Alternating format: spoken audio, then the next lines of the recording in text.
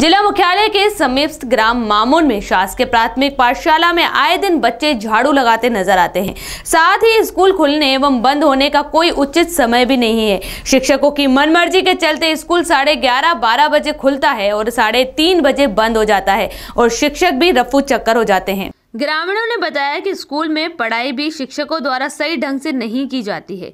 वहीं बच्चों ने बताया कि हमारे शिक्षक कभी 11 बजे तो कभी 12 बजे आते हैं और शाम को भी 4 बजे के पहले ही स्कूल बंद कर चले जाते हैं। ग्रामीणों ने कलेक्टर एवं जिला शिक्षा अधिकारी को भी इस मामले से अवगत करवाया है।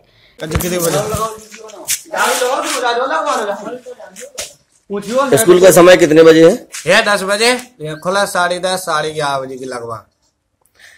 और हमेशा ऐसे ही होता है। हाँ ऐसी हो झाड़ू बच्चों से लगवाते हैं। झाड़ बच्चा लगाओ पानी वह सब जी करा जी क्यों बच्चों? पानी कौन भरता है? और झाड़ू कौन लगाता है? कभी टीचर समय से नहीं आते?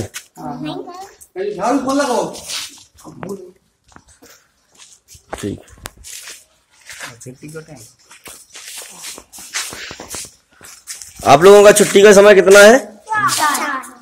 लेकिन छोड़ दे तीन साढ़े तीन के लगभग।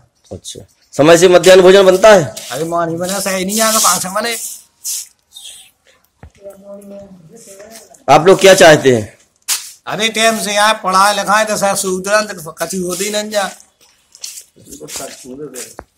चलिए ठीक। इस व्यवस्था को सुधारने के लिए आप शिकायत कर, करने के लिए तैयार है? और का ठीक से तो खड़े है